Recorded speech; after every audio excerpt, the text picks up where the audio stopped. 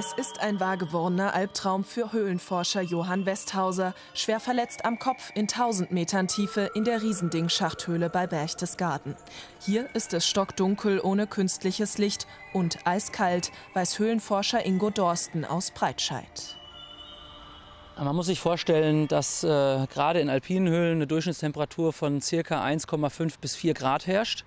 Und ähm, das ist in erster Linie ein Problem, wenn es darum geht, den Wärmehaushalt eines Verletzten ähm, zu erhalten. Das heißt, erste, der erste Anspruch der Versorgung ist, die Unterkühlung zu verhindern. Johann Westhauser ist gefangen, hunderte von Metern tief im Innern von Deutschlands größter Höhle.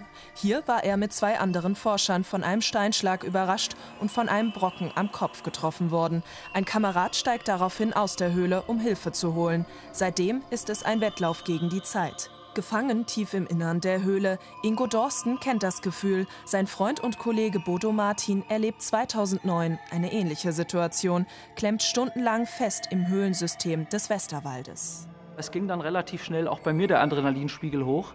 Es war ein kleines Loch. Durch dieses kleine Loch konnte man sich mit ihm unterhalten. Man konnte von ihm auch eigentlich nichts mehr sehen, außer die Füße und die Beine. Das A und O bei diesem Albtraum, die Kommunikation mit dem Verletzten. Nur so baut er nicht ab. Wir haben damals als erstes gesehen, dass wir den Unfallort genau inspizieren, um abzuschätzen, ob noch weitere Gefahren existieren, die ihn eventuell noch stärker bedrohen. Das war nicht der Fall und es ging dann letztendlich da, äh, darüber hinaus, dass wir den Patienten beruhigen, dass wir unseren Kollegen zusprechen, dass wir ihm über die Maßnahmen, die jetzt stattfinden, auf dem Laufenden halten. Das ist ganz wichtig, dass der Patient nicht das Gefühl bekommt, er ist alleine. Nach langen neun Stunden zwischen Hoffen und Bangen war Bodo Martin damals befreit.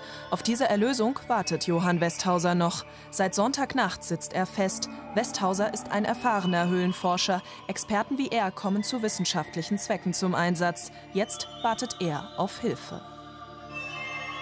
Das Problem ist in der Regel, Ärzte in Höhlen reinzubekommen.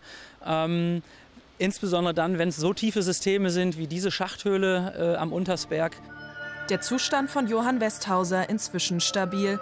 Doch schon jetzt ist eins klar. Die Rettung wird eine Zerreißprobe für ihn werden, aufgrund seiner Kopfverletzungen.